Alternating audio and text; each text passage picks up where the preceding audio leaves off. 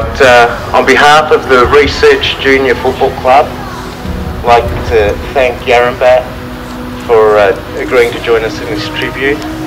Uh, I'd also like to extend a thank you to the NFL umpires as we pay tribute to you know, a wonderful young footballer who started his junior career here in 2005 and uh, sadly and tragically was lost to us earlier this week. We're also paying tribute to Tony Tiger Barden, who's the uh, the brother of Grant Barden over at Lower Plenty Football Club and was the coach of their feeder program. For those of you that were unaware, Tony worked with uh, intellectually disabled young adults and uh, was able to take football to them and the enjoyment of the game. We'll start our minute silence now.